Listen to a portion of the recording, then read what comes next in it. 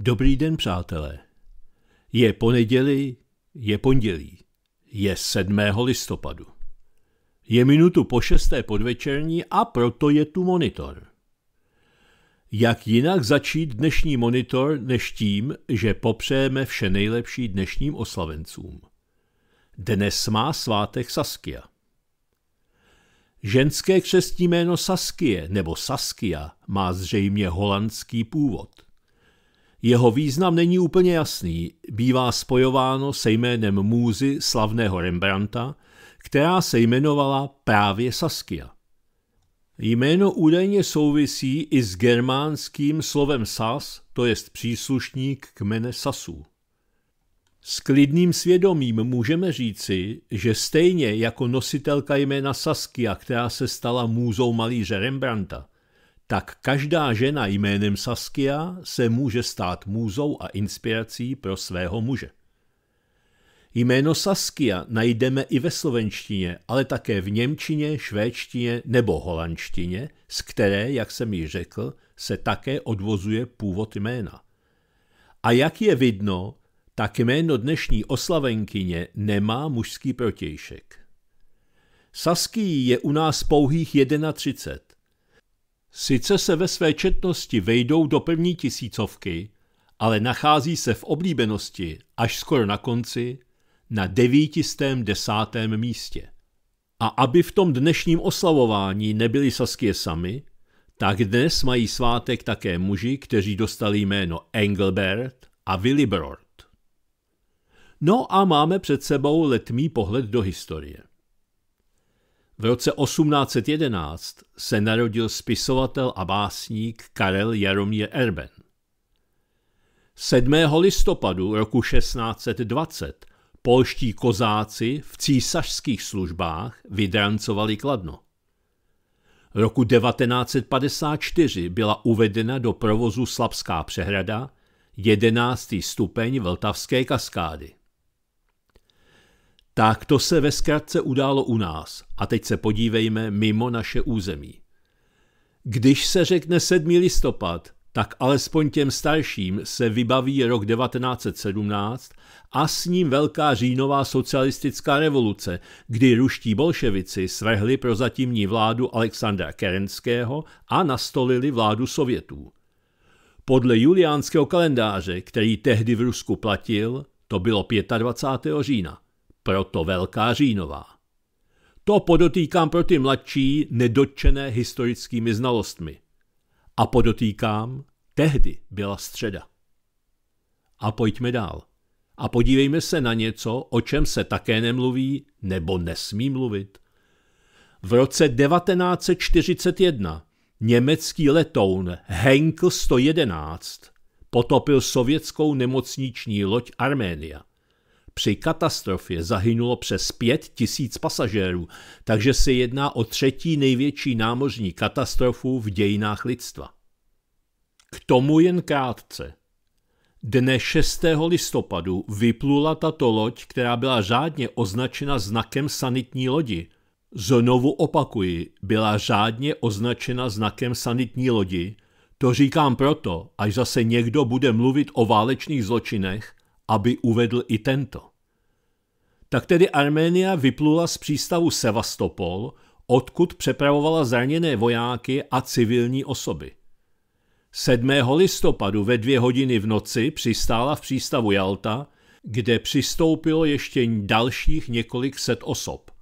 V 8 hodin vyplula z přístavu a po několika desítkách kilometrů byla torpédována německým torpédonosným letounem Henkel HE 111. Loď se potopila v 11 hodin 25 minut, přičemž zahynulo přes 5 tisíc cestujících. A aby to dnešní datum nebylo tak ponuré, tak pro milovníky autíček a trabantů zvláště si připomeňme 7. listopad roku 1957, to v NDR začala výroba vozů legendární značky Trabant. A ještě připomenu, jaká nejvyšší a nejnižší teplota byla v Klementínu naměřena k 7. listopadu.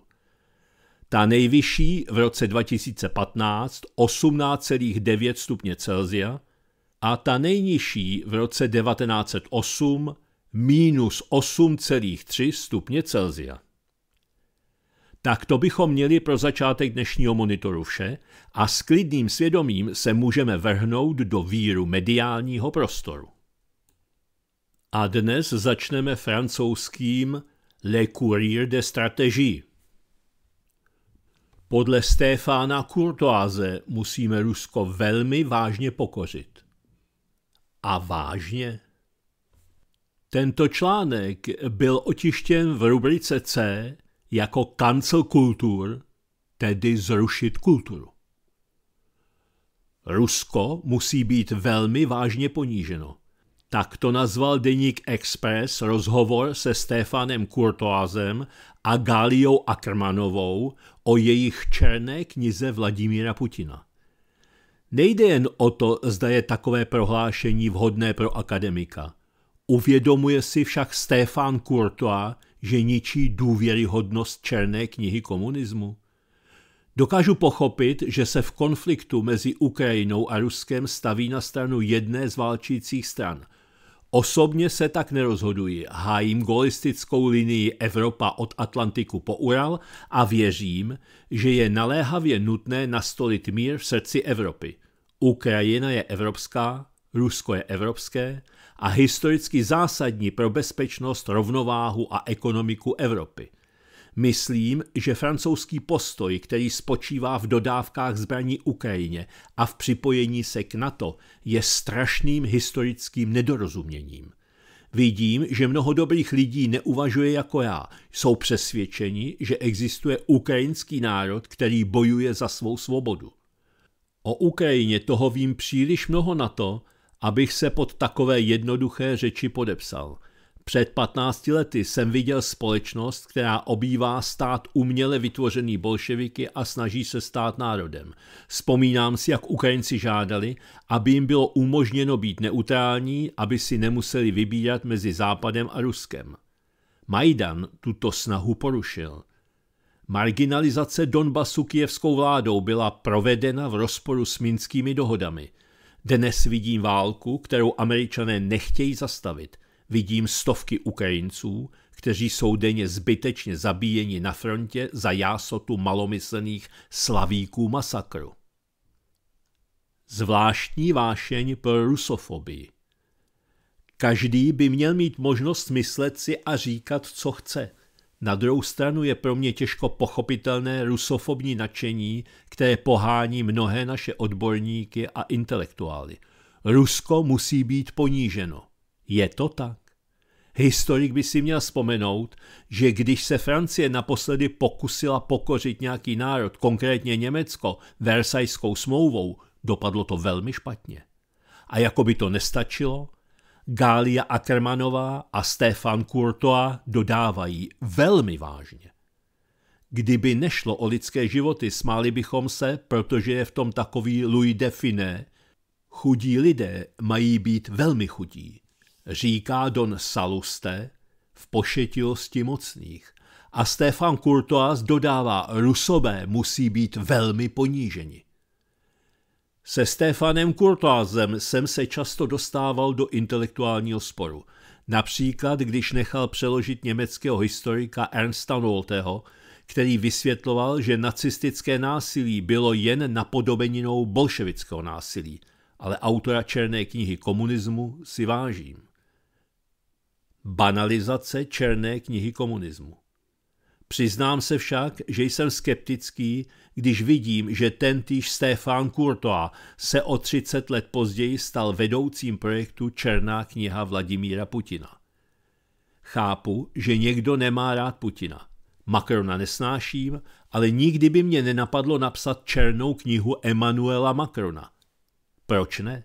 Protože existuje černá kniha komunismu napsaná o jednom z nejškodlivějších systémů v dějinách lidstva, že si můžete udělat černou knihu nacismu, jakobínství a všech totalit. A že vytváření černé knihy Putina, Macrona nebo dokonce Erdogana tento pojem černé knihy banalizuje. Je to jako s lidmi, kteří do všeho vkládají slovo fašismus. Jakmile jste na pravici, jste fašista.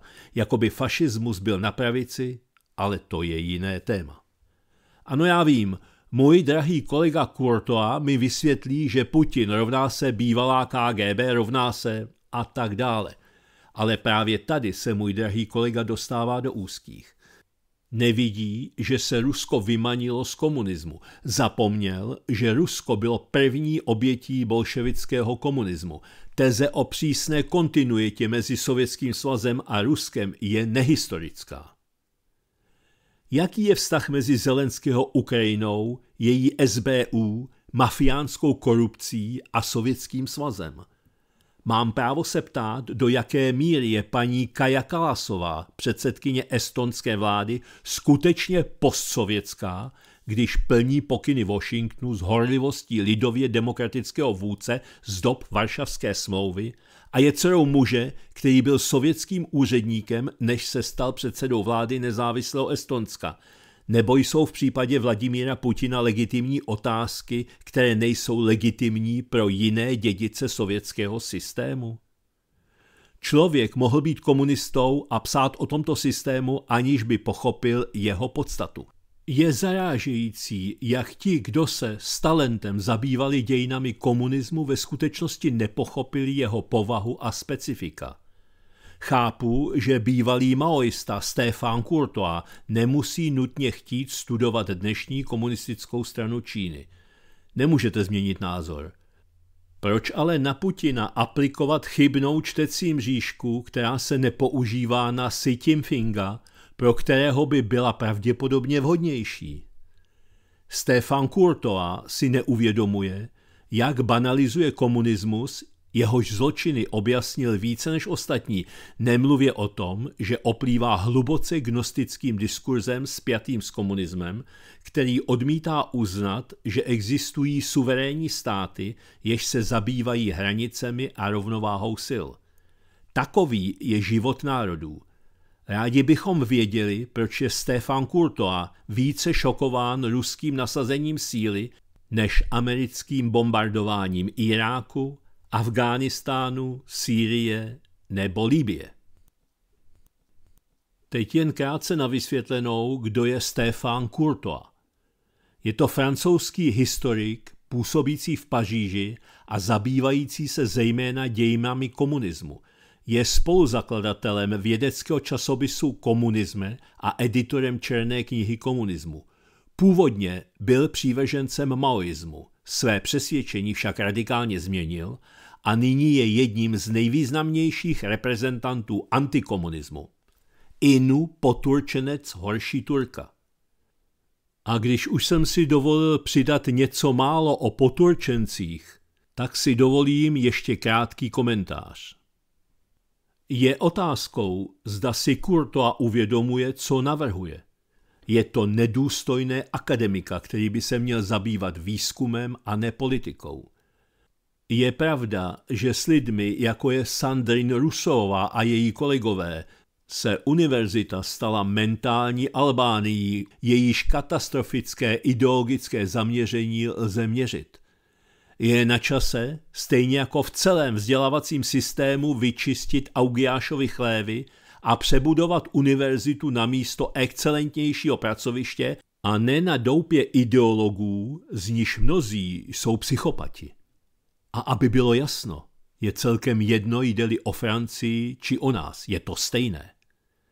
Mimochodem, stojí za to si dohledat a poslechnout rozhovor, který poskytl François Oleksi Alexovič 18. února 2019.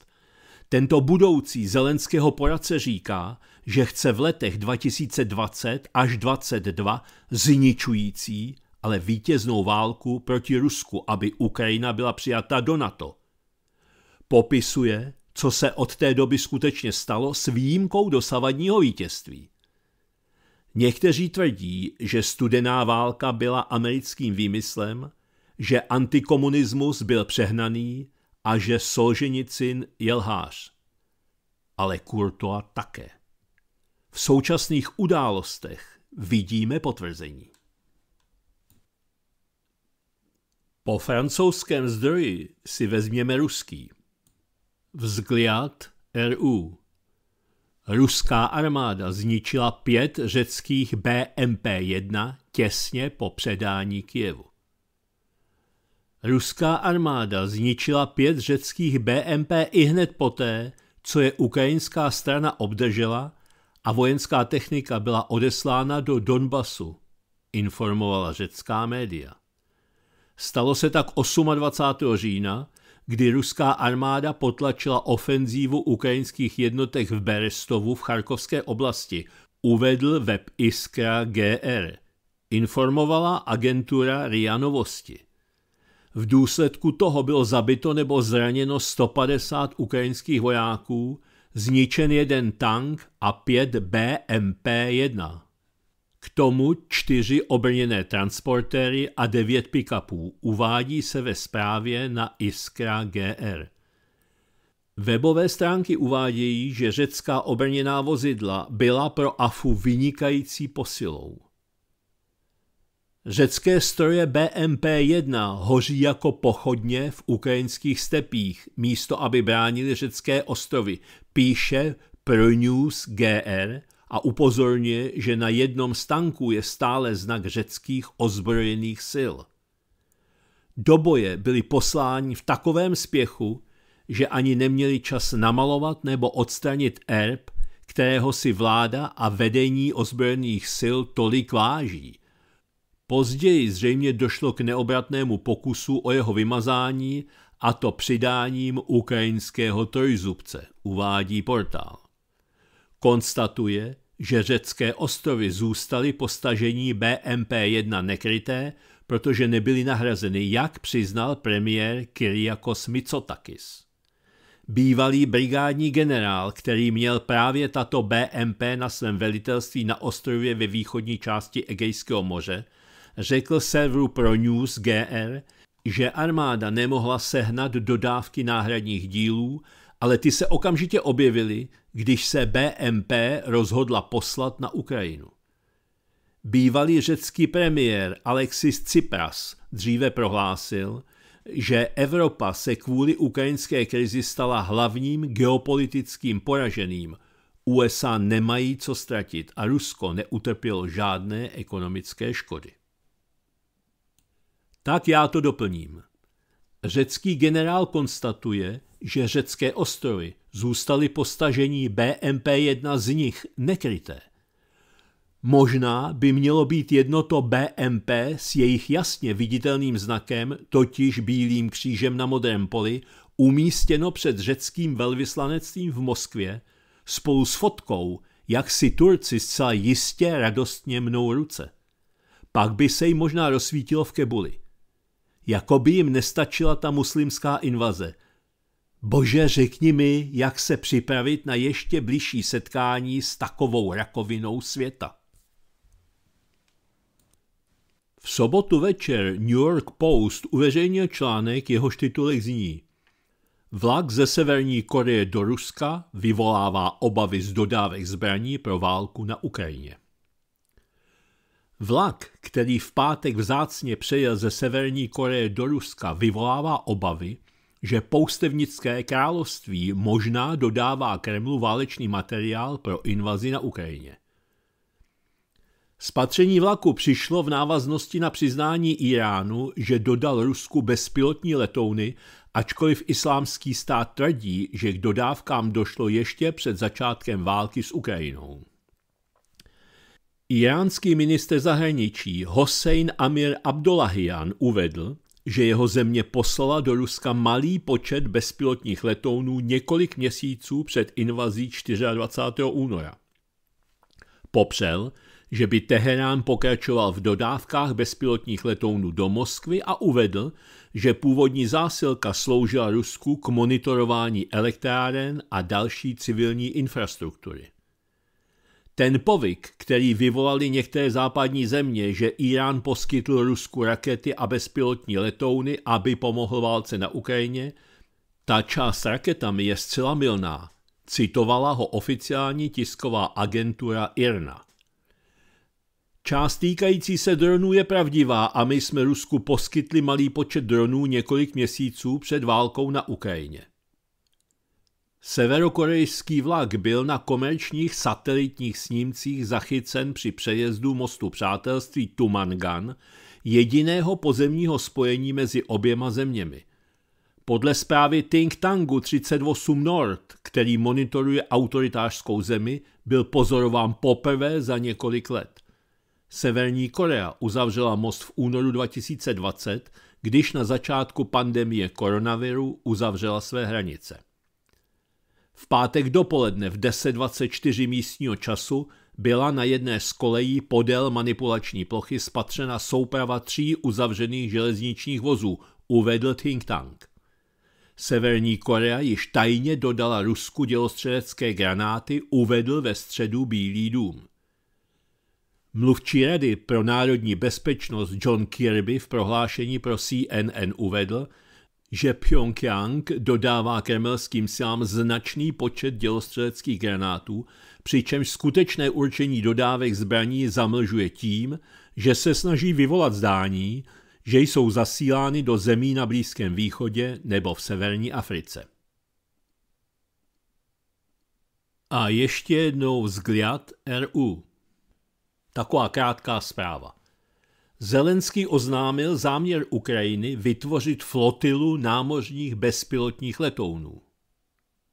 A proto chce námořní flotilu dronů.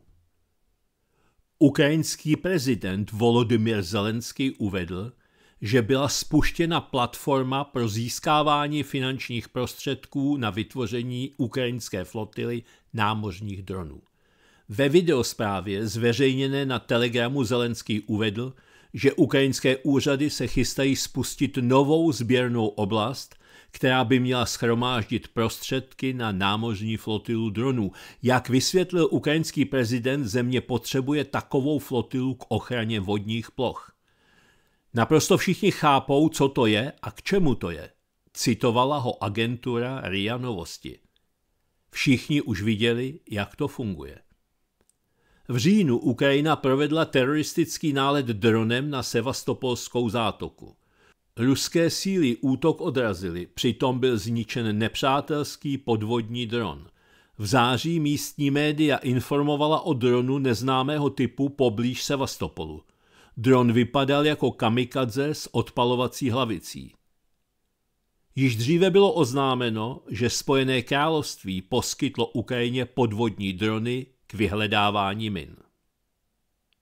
Hm, hm, tak nevím. Lze považovat tyhle drogové bláboli nejlepšího syna Ukrajiny za něco, co je z jeho hlavy? A pak je tu ještě jedna otázka. Proč země, která brzy nebude mít moře, potřebuje námořnictvo? Nakonec to vypadá, že ani ta země nebude.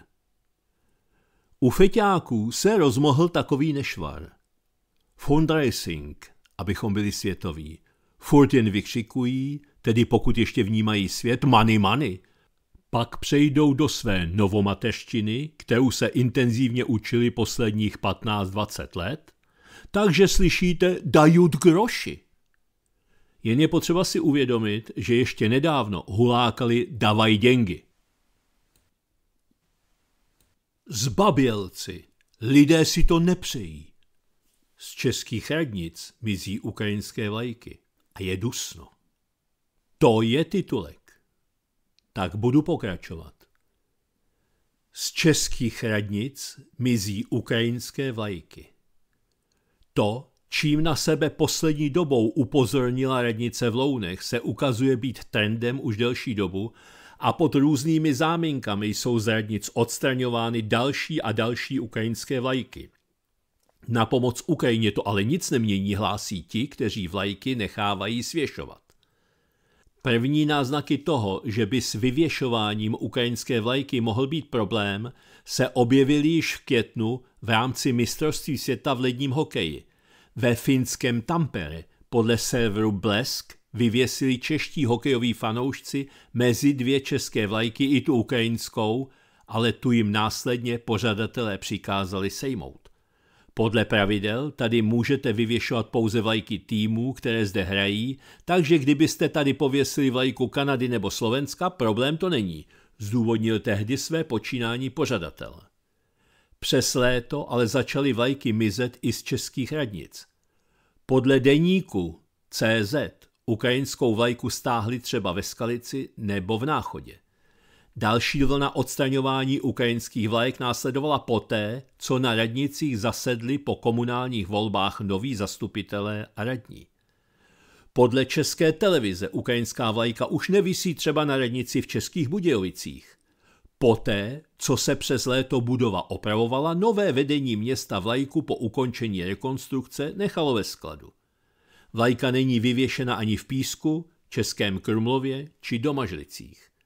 Zmíněné sundávání ukrajinských vlajek je většinou doprovázeno protesty místních opozičních zastupitelů. Ti, kteří o svěšení vlajky rozhodli, se pak většinou brání tím, že není důvod, aby vedle české státní vlajky vysela jakákoliv jiná a poukazují na to, že města pod jejich vedením pomáhají Ukrajině jinak, především formou různých sbírek, ať už finančních či materiálních. Vlajka znamená nesouhlas s tím, co se děje na východě. A pokud jsme ji stáhli, tak to znamená, že asi přijímáme tu invazi a agresi a souhlasíme se vším, co se děje. Takže vlajka by se měla vrátit zpátky. Kritizuje podle české televize krok Českokrumlovské radnice organizátorka pomoci Ukrajincům Viktoria Perníková. Starosta Alexander Nogrády z ANO se ale domnívá, že symboly společnost spíše rozdělují a my chceme lidi spojovat. Takže připravujeme večery na téma ukrajinská historie, ukrajinská kultura, abychom se lépe poznali, uvedl. K reportáži České televize se vyjádřil i brněnský politolog Miloš Gregor, který s odstraňováním ukrajinských vlajek nesouhlasí. Po dnešní reportáži České televize o tom, jak politici z Babělci stahují ukrajinské vlajky z radnic, protože si je lidé nepřejí, jsem rád, že na Brně středu i na magistrátních budovách stále vlají. Malé gesto, co nás nic nestojí, ale váleční uprchlíci jej ocení. Díky za něj. Dodejme, že situaci nepomohl ani ministr vnitra Vít Rakušan, který nechal na své ministerstvo vyvěsit mezi českou a ukrajinskou vlajku fotografii ruského prezidenta Putina, kterého umístil do vaku na mrtvoli. Řeknu vám, ještě, že to napsali parlamentní listy, onen známý konspirátorský plátek, jinak bych byl zmaten. Zoufale jsem hledal v seznam zprávách či na novinkách dementy a nic. Dokonce i šafr mlčí. Tak doufám, že nebude mlčet Rakušan. Ovšem mírně jsem se uklidnil, když jsem se dále v článku dočetl, že nás o této tragické iniciativě informovala vždy pravdivá, sedmimiliardová a v době více než 20% inflace ještě více miliardová, podle jména, samozřejmě jen podle jména, Česká televize. Jen tak mimochodem. Zaznamenal jsem, že se děje něco neblahého. V Praze 7, tam, kde vládnou čižinského šílenci, jsem viděl, o hrůzo hrůz, botičku na autě s ukrajinskou registrační značkou. No toto. Server Česká věc napsal Český boj za Izrael, Ukrajinu a židovské zájmy jako axiom české zahraniční politiky po roce 1989. Je čas s tím skončit, není to v českém národním zájmu. Pod tímto článkem je podepsán je Novak z Chicago. Česká vláda Ukrajince Petra Fialy vyrazila do Kijeva jednat o obnově Ukrajiny, kterou má financovat český daňový poplatník. Komu ale bude ta plánovaná obnova ukrajinského území skutečně sloužit? Ukrajincům. Ukrajina je sice oficiálně prezentována jako země Ukrajinců, ale ve skutečnosti je tato země ovládána židovskými politiky a oligarchy. Židovského původu je prezident, celé jeho okolí, velká část vlády, tajných služeb a vedení armády, všichni významní oligarchové. Veškerá aktiva v zemi, včetně půdy, jsou v rukách židovských místních nebo zahraničních firm. V židovských kruzích se již delší dobu mluví o obnově Chazarské říše jako Izraele 2. Chazarská říše byla domovem dnešních aškenáských židů, kteří masově konvertovali k judaismu před tisíci lety po takzvané chazarské disputaci. Pro ně je to velký návrat domů, oni historicky nemají v Palestíně vztah, i když tam někdy žijí. Všechny procesy po rozpadu Sovětského svazu k tomu na Ukrajině směřovaly a Majdanový puč v roce 2014 byl urychlovačem událostí. Ruský zásah na Ukrajině pochopitelně vznik Izraele 2 ohrozil a tak musí být aktivovány a nasazeny všechny zdroje ke zvrácení situace. Český stát se účastnil aktivně vzniku současného státu Izrael po roce 1948. Bez české vojenské a hospodářské pomoci by pravděpodobně Izrael vznikal mnohem obtížněji. Později došlo k přerušení diplomatických styků a socialistický režim choval k Izraeli oficiální antipatii. Po roce 1989 se stala jednostranná podpora Izraele a židovských zájmů nedílnou součástí české zahraniční politiky. Česká polistopadová reprezentace tak činila a činí často v přímém rozporu s českými národními zájmy. Z tohoto pohledu není současný boj české politické elity za židovské zájmy na území Ukrajiny vlastně překvapením. Někdy se zdá, jako by Čechům byl někým uložen úkol podpory a financování židovských zájmů jako novodobé historické jeho. Nelze totiž zapomínat ani na zvláštní návštěvu TG Masaryka v Palestině v době jeho prezidentování v roce 1927. Oficiálně to sice byla soukromá cesta a Masaryk tam jel dokonce pod jiným jménem, ale jak píší oficiální média – v jeruzalemské ortodoxní čtvrti Me a Shearim, kde je nadšeně zdraven lidmi na ulicích. Na budově komunity vlaje transparent s českým a hebrejským nápisem ve státních barvách. Vítáme vás. Přijímá ho vrchní rabín československého původu Josef Chaim Sonnenfeld. V rámci setkání se rabín modlí za Československo a Masarykovi předává text modlitby na pergamenu. Masejka vítá též 500 žáků školy Talmud, Tóra a ješivy Chaje Olam. Ze židovské ortodoxní čtvrti Masaryk odjíždí do velké synagogy, kde jej zdraví jeruzalémský vrchní rabín a významný myslitel a kabalista Abraham Izák Kuk. Jednalo se o významný krok v později nastolené české zahraniční politice. Problém je, že to neodpovídá českým národním zájmům. Češi naopak musí usilovat o normalizaci vztahů s Židy a židovským státem na základě vzájemné výhodné spolupráce. To se ale nestane samo od sebe a současný režim to nikdy dělat nezačne, ten hájí pouze cizí zájmy. Jinak budou Češi opět sponzoři zahraničních zájmů na vlastní účet se všemi konsekvencemi, které to může mít. Vděku se za to bohužel nedočkají.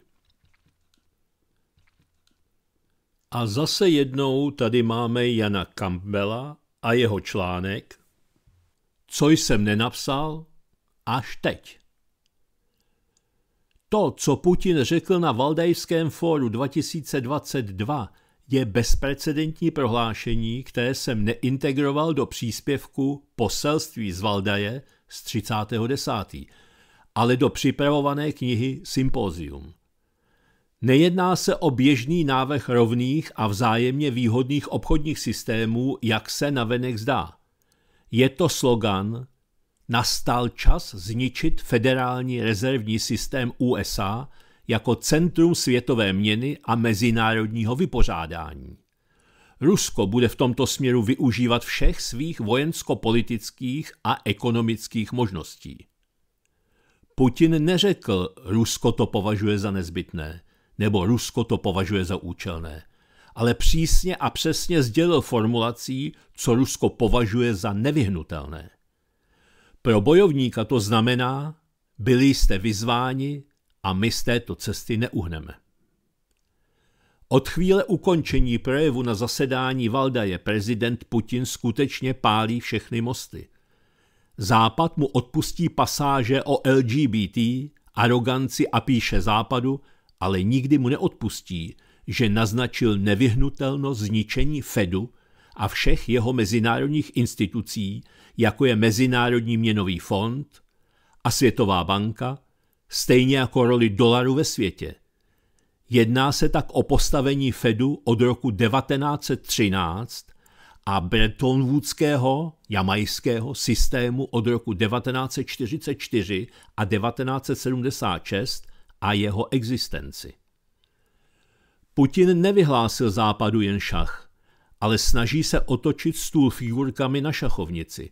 Indikuje to oznámení, že Rusko se připojuje k přeformátovávání světa, v němž je Evropa pouze periférií Eurázie a Rusko jejím centrem. To nejdůležitější se jako obvykle skrývá mezi řádky a v útržcích frází. Nespočetně mnohokrát upozorňuji i v připravované knize Sympózium na deficit a na potřebu výuky analýzy rétoriky a jazyka skutečných či neskutečných přátel i nepřátel. Doufat na hradě, Strakovce nebo v Černínském paláci, že po takových slovech budou následovat jednání a kompromisy v jakýchkoliv otázkách je naivní. Například ve větě popravit nelze prominout, omilostnit, se v USA za slovem popravit píše podle mých skromných znalostí čárka. Co to znamená? Nerozhodne se v Bílém domě ani v Capitolu, ale na Wall Street a ve městě. Na této úrovni nelze rozhodnutí zvrátit. Chci věřit, že vláda České republiky nehraje s národem pokr a ví, co mám na mysli. Proto lze tvrdit, že po Putinově valdajském projevu v tomto roce 2022 Západ již na žádnou pauzu na Ukrajině nepřistoupí. A pokud ano, tak jen proto, aby posílil své síly pro závěrečnou a rozhodující bitvu s Ruskem. Neměli bychom se proto divit, kdyby se v USA stále zřetelněji začaly ozývat hlasy těch, kteří požadují přímou válku s Ruskem všude. Na Ukrajině, ve střední Asii, v Evropě, na Kavkaze. Uvidíme, co přinesou volby v USA 8. listopadu. Nejde o to, že v pauze by Rusko získalo schopnosti, které před Putinovým projevem neexistovaly. Jde o to, že Putin udělal tečku na i. Ruská cesta k porážce západu není vojenská, ale systémově finanční. Chci věřit, že alespoň někdo v české vládě a České národní bance si je toho vědom, nebo si to po přečtení příspěvku uvědomí. Takové rozhodnutí nejenom pro obyčejné a bezmocné občany téměř nepředstavitelné a odvážné i proto, že vyhlášení boje Fedu, regionální a místní války transformuje do druhé fronty, která doplňuje mobilizaci politickou, hospodářsko-technickou a finanční. Oznámit své rozhodnutí mohl prezident Putin až po ukončení 20. sjezdu komunistické strany Číny – na sjezdu došlo k naprosté a nekompromisní porážce pro americké páté a šesté kolony v Číně. Tato porážka představuje současně asymetrickou odpověď Xi Jinpinga na návštěvu Nancy Pelosiové na Tajvan. Jedná se o velice nepříjemnou odpověď Spojeným státům a přísné varování pro českého a ostatní samoprohlašující se Tajvance, sinofoby a rusofoby. Xi Jinping dokázal všemi mastmi mazanými analytikům, vědcům a synologům, co je to rovnováha sil, jak se zabezpečuje, co znamená kvalita času a jak se s ním hraje a o co je vize. Xi Jinping na sjezdu působil smířlivěji tím, že vyjádřil naději na kompromis s USA. Vladimír Putin si vybral jinou formu a jinou příležitost je ve zcela jiné situaci, než je prezident si. Musí vést nevyhlášenou válku na mnoha frontách. Neohlášené nekonečné vojenské vyzbrojování Ukrajiny západem se v představitelné budoucnosti představí široké veřejnosti jako příčina hospodářského pádu západu, jako kulisa k odvlečení pozornosti a jako zlý sen. Po Ukrajině jako části dlouhého příběhu vstoupí Tajvan a po něm budování nové mezinárodní finanční platformy v moři slz a krve nevěřících v rozum, objektivní zákony přírody a skutečnost, že pouze člověk, který pozná sám sebe, pozná Boha a svět. Sokrates věděl, že na rozdíl od světa je duše věčná, protože v sobě nese božské semeno a že člověk poznává sám sebe pouze skrze pochopení božského v sobě. Tím, že pochopím sám sebe, může také pochopit Boha. Putinova slova proto nelze hodnotit jako opakování tezí z projevu k federálnímu schromáždění, ale jako rozhodnutí pro dosáhnutí vedoucí pozice Ruska v nově vznikajícím světovém řádu. Jeho základ tvoří antikoloniální hnutí mnoha zemí Jižní, Východní a Latinské Ameriky a podobně smýšlející konzervativci a vědoucí části levice na západě. Tato rostoucí koalice představuje většinu světové populace a bude utvářet svět v 21. století. A na řadě je Ivan Hoffman. Čerpám z parlamentních listů. Publicista Ivan Hoffman, který pravidelně přispívá do Českého rozhlasu a občasně i do dalších médií, jako například do Lidových novin či do listu Metro, má za to, že stávající společenský systém přetrvává už jen ze setrvačnosti a je na čase, aby si lid vzal zpět zprávu věcí veřejných do vlastních rukou. Na pár řádcích popsal, co tím má na mysli. Pro server Radio Univerzum napsal, že v klidných časech lidé necítí potřebu zabývat se politikou, takže se ke zprávě věcí veřejných dostanou občané neschopní, jenže když nastane nějaká krize, jejich neschopnost se podle Hoffmana ukáže v plné nahotě. A ukáže se, že je třeba nastolit nový systém. Cítíme, že doba, která nastala, je přelomová. Panující společenský systém přežívá už jen ze setrvačnosti. Místo prosperity nabízí chudobu, místo plurality myšlení povinná dogmata, místo koncenzu nabízí konfrontaci, místo míru válku. Sedíme v lokále, ve kterém vrchní hlásí závěrečná. Systém, ve kterém žijeme, už je jen minulost. Chodíme kolem něj po špičkách jako kolem kobily v posledním tažení. Nikdo nechce být potrefen jejím kopitem, když je tu naděje zařadit zpátečku a vycouvat z dnešního marazmu do bodu, kdy svět byl ještě v pořádku. A nebo kdy ještě nebyl v naprostém nepořádku, neboť nebyl decimován bezohledností, chamtivostí a fanatismem. Vyjádřil svůj názor Hoffman. Ale pokud to chceme změnit, je podle Hoffmana třeba najít odvahu spojit se s podobně smýšlejícími osobami, jejichž mozky nejsou vymity, jak to nazval Hoffman, a jednat. Sbíráme odvahu brát si zpátky, co je naše, brát si to, na čem nám přestávalo záležet, o čem jsme soudili, že je to marginální nebo zbytné – Předně je to právo na svobodné vyjádření jiného názoru, než je ten oficiální, jediný správný a povolený. Je to právo hledat alternativy k tomu, co údajně nemá alternativu. Cítíme, že je třeba vzít si zpátky právo na sebeurčení, bez kterého si nelze vzít zpátky náš stát, dědictví po našich předcích, vzít si zpátky půdu pod nohama.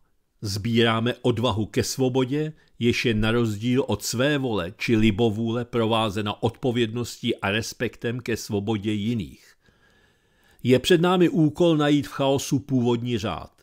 Je to úkol přesahující možnosti jednotlivce.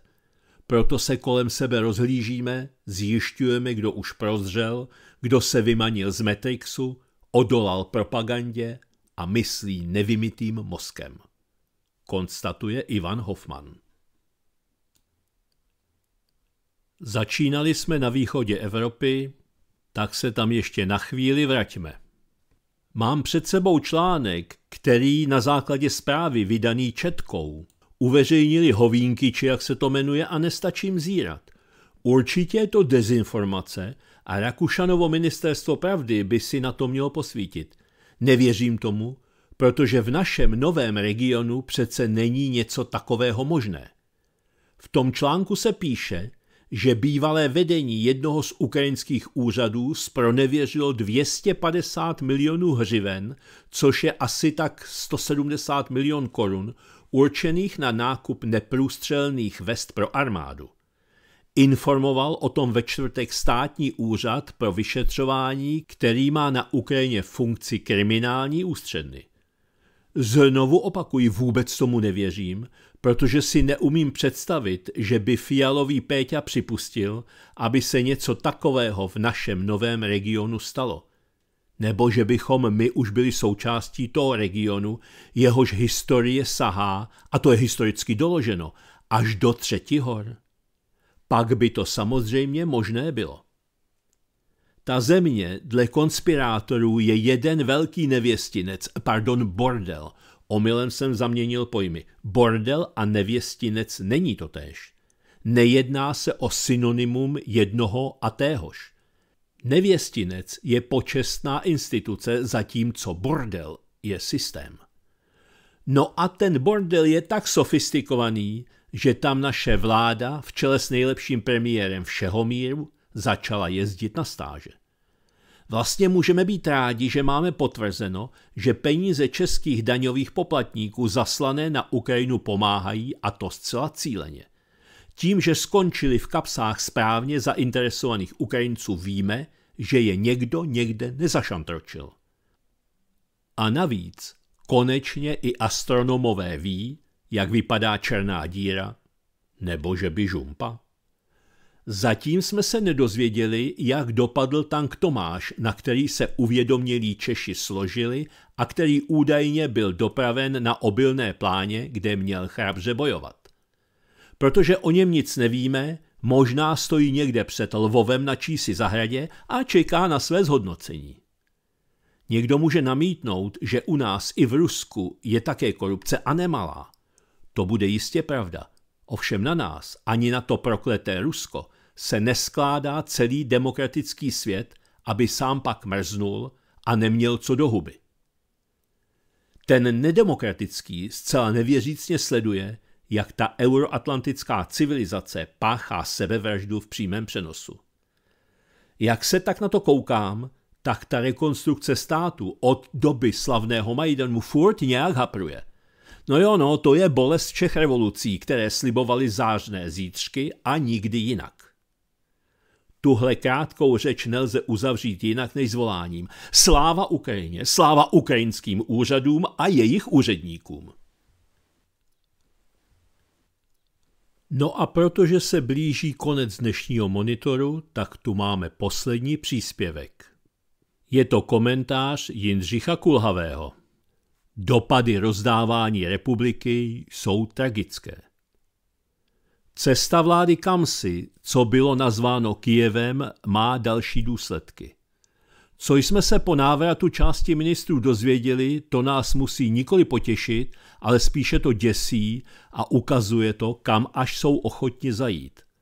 Zbláznili se v pěti koalici nebo jedou podle dopředu nalajnované čáry a mají předat někomu Českou republiku ve stavu totální destrukce?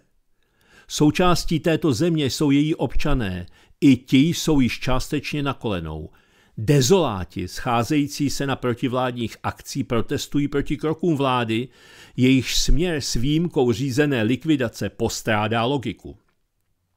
Minister zdravotnictví Válek se nově přiznává, že na Ukrajinu vláda poslala léky a zdravotnický materiál za desítky milionů korun.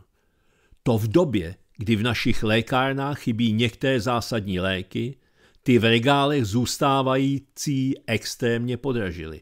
Přitom vláda sebrala až 15 miliard korun zdravotním pojišťovnám a tím i zdravotnictví.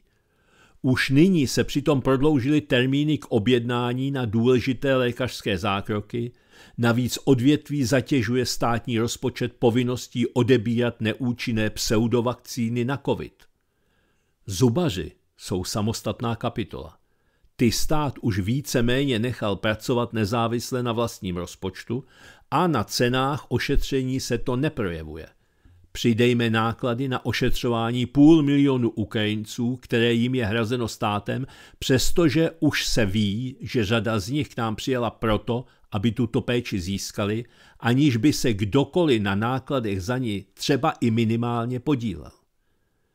Naše bývalá chlouba, tedy zdravotnictví, klesá na dno o čemž svědčí postupná likvidace lázeňství patřící k dříve prioritním záležitostem v oblasti rehabilitací a následků kroků po těžkých operacích. Ministrině obrany Černochová mimo nákupu stíhaček F-35, o nichž i američané říkají, že stárnou rychleji než čekali a je třeba je začít osazovat novým typem motorů, oznámila národu, že právě američané společně s Holandiany zaplatí rekonstrukci českých tanků T-72B, které v zápětí pošleme Zelenskému. Takže my věnujeme těžkou techniku zdarma, někdo ji opraví a Rusové za týden zlikvidují. Kdo na tom prodělá nejvíce? Samozřejmě my. Ostatně jak už je zvykem. Kolik zbraní a za kolik peněz jsme na Ukrajinu poslali, to nikdo nespočítá. Ovšem víme, že jsou připraveny u našich zbražů další velké dodávky. Jak to dopadá, to víme. Vys Ukrajinci rozkradené peníze určené na nákup neprůstřelných vest. Ministerně války však pokračuje ve své ideologické zaslepenosti a nadále i díky svým pravomocím spoludrancuje státní pokladnu.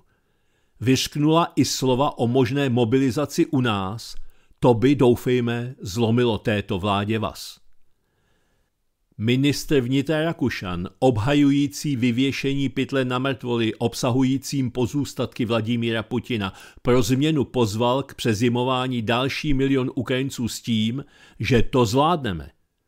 K tomu byly navýšeny příspěvky na bydlení určený právě těmto příchozím. Nadále se pokračuje ve vzniku cenzurního odboru, který má za úkol likvidovat jakoukoliv názorovou opozici. K tomu je třeba i ministr spravedlnosti. Blažek je kovaným členem současného vedení ODS a splňuje jemu zadané úkoly na jedničku, takže už tu máme první vězně odsouzené za své názory. Jejich počet bude postupně narůstat. Minister financí Stanjura se pustil do změny daní. Prezident republiky vetoval zákon o státním rozpočtu s tím, že schodek je velký a je třeba navýšit příjmy státu, nikoli korigovat astronomické výdaje. I když Zemanova oblíbenkyně Pekarová Adamová i hned kontrolovala, že toto veto bude přehlasováno, jisté je, že daně údajně spíše pravicová vláda zvýší. Začne takzvanou válečnou daní nazvanou daní z neočekávaného zisku, která má zasáhnout banky, energetický biznis, společnosti obchodující s ropou a plynem. První reakce na sebe nenechali dlouho čekat a Daniel Křetínský přesune sídlo svých firm podílejících se na energetice do jiné země, kde tato daně neexistuje. Takže stát v zápětí po vyhlášení tříletých 60% daní dostane méně než dosud. Dá se očekávat, že podobnou cestou půjde i Pavel Tykač a další miliardáři neochotní přidávat vládě na její utrácení ve jménu Ukrajiny. Na prosté občany však také dojde. Hovoří se o nových navýšeních DPH, daní z nemovitostí a také za používání vozidel a v dalších sférách možných státních krádeží. Ministr sociálních věcí Jurečka naopak za Čechy utrácet nechce, takže je na pořadu dne odklad odchodu do důchodu. Několika stařečkům, kdysi pracujícím pro KSČ, budou sníženy důchodové dávky. Zároveň se sníží doba vyplácení podpory v nezaměstnanosti, což vzhledem k tomu, že razantně přibude nezaměstnaných, je samozřejmě varující. Připomínáme, že jsou přednostně zaměstnáváni Ukrajinci a o Čechy ve věku nad 50 let zaměstnavatelé přestají stát. A to je Ukrajincům přispíváno na ledacos, zatímco nám se zvedly životní náklady do nebes. Ani minister školství nelení a zaznamenali jsme snahu sdílet nepedagogické zaměstnance s tím, že ti, kteří zůstanou, budou školy sdílet. Ušetřit se má 4 tisíce míst, což tyto odchozí vrhne na trh práce bez tak už zatížený těmi, kteří o zaměstnání přišli díky covid hysterii a následně i kvůli zavírání firem a provozoven neschopných zareagovat na zdražení energií a inflaci. Tím se dostáváme k ministrovi průmyslu. Vláda dopředu avizovala, že průmyslovým závodům pomoci nemůže, protože na to nemá. Tím s tímto ministerstvem končíme, nemá cenu dále pokračovat. Stačí nejdarší elektřina u nás, na což v Evropě musí koukat jako vyjevení, my jejím nedostatkem totiž netrpíme. Cenami ano. Nad všemi ministry sedí Petr Fiala, slibující Zelenskému rekonstrukci části Ukrajiny za naše peníze. Už nyní si vláda půjčuje na nesmyslné dary Kijevu a zadlužuje nás na neúnosnou míru. Kdo po Fialovi převezme moc, čeká ho šok z toho, co se kolem našich dluhů za poslední rok událo. Přidejme zvýšení mest politiků a další režie státu. To vše máme platit my. Z čeho pro Boha? Postupně je naše země rozdávána a plundrována tak, že se tomu diví i v Rusku. To mohlo Ukrajinu dávno srovnat se zemí, nicméně způsob vedení bojů napovídá tomu, že úkolem není denacifikovat celé území spravované kdysi Kijevem, ale spíše vyčerpat Evropskou unii. Někomu to došlo a od sankcí tam ustoupili. Holandsko, Maďarsko, Rakousko, částečně Německo, z nečlenů Evropské unie Švýcarsko. Jiní jsou zabednění Polsko, Slovensko, Česká republika. A nadále slouží anglosaským zájmům a noří nás do ještě větší tmy a propasti. Cesta zpět bude nemožná nebo ekonomicky zdrcující. Nic na tom nezmění ani volba nového prezidenta, protože reálná možnost stávajícího vyměnit za někoho, kdo započne tažení proti Fialovi, je mizivá. A to tu mají v záloze ještě podvody kolem vyhlašování vítězů, vy Spojené státy, Brazílie, Francie a Rakousko. Jsme v začarovaném kruhu, za což poděkujeme všem voličům pětikoalice a částečně i ano. A pak jsme ještě někde. To se slušně nazvat nedá. Hodina je pryč a protože nám zbývá ještě pár vteřin do konce, tak vám pustím na závěr písničku, respektive kousek písničky. Jmenuje se Zloději počestní. Hádejte, komu je asi tak určena. To už je opravdu pro dnešek všechno. Od mikrofonu monitoru studia Kalich Svobodného rádia se s vámi loučí do zítřka, ovšem dáli Bůh a cenzor, Ivan Votava. Naschledanou.